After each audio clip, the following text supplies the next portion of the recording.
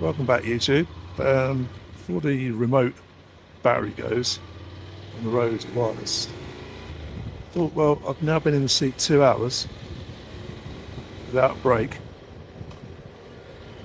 and I think that's pretty much a, a good point to give my thoughts on the motocoverz.com uh, sheepskin cover that they kindly extended for me by 10 centimetres um, to fit the seat how I wanted it to fit the seat. And Matt, more than obliging, delivered it very quickly indeed. Um, it was too late for the uh, Dave's Day, which is fine because I didn't expect it. I had the short haired version, which I used, which was fine. And I just wanted to find a long distance, long time, long time in the saddle ride to give it a proper test, a full test.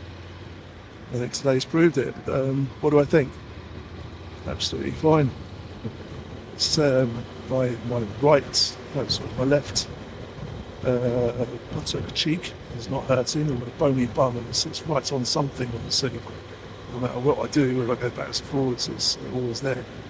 It's not there today. Um, yeah, sitting in a, on a bike for two hours, any bike, it's going to give you a bit of bum ache. I hope. But um, no, dramatically reduced from if it wasn't on. And just for fun, I tried it to go to work yesterday. yesterday. No, uh, Thursday. So Saturday. Um,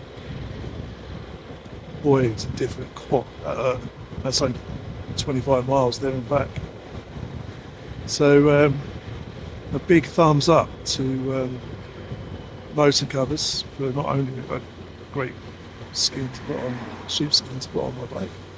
Looks good. Black black dye, look nice. It's, it's nice for white people say it's nice. But also helps with um, keeping things cool, shall I say, whether it be hot or cold. Leave that at that. Make it that what you wish. Yeah, so it's added comfort. Um, wasn't too expensive either. Great service, and all power to them. Thank you again, Matt, uh, for the two that you've supplied me in really good, good order and good, good speed of delivery. Nice, nice bits of kit. I'll leave the link below, and um, yeah, please support them. They do great work for us bikers. Thank you very much. Love you lots. On to Margate.